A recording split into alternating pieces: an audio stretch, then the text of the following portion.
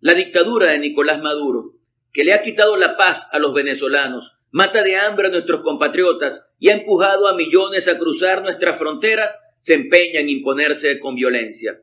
Hoy intenta robar nuestras siglas prolongando la práctica de la usurpación, creyendo que por decreto se puede engañar no han podido lograr que se reconozca como legítimo a su régimen criminal. Tampoco podrán por decreto engañar a la dirigencia, militancia y especialmente a los millones de venezolanos que nos han recibido en su casa durante años.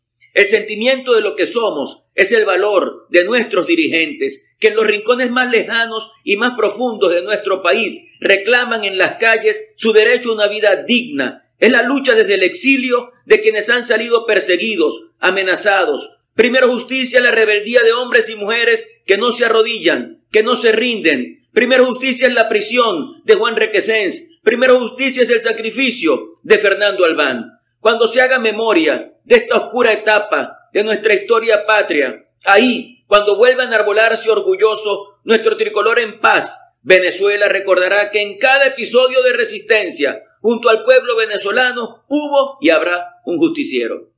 El cambio para Venezuela no puede esperar más. Primero justicia seguirá en la calle, junto al pueblo, luchando para lograr la libertad. A ese país que ha depositado su confianza en nosotros, queremos decirle, nuestro partido está unido, con la moral intacta y bajo el único propósito de lograr la libertad.